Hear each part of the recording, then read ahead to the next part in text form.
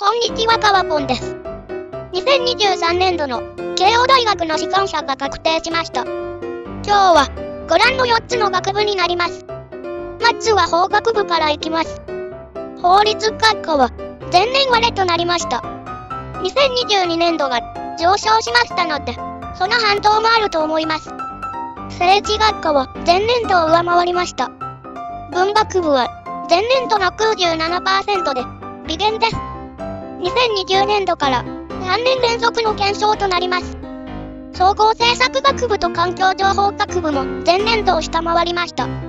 大きな減少ではありませんが、ここも2021年度から見て3年連続の減少となります。受験生には追い風と言っていいでしょう。というわけで、今日は以上になります。ありがとうございました。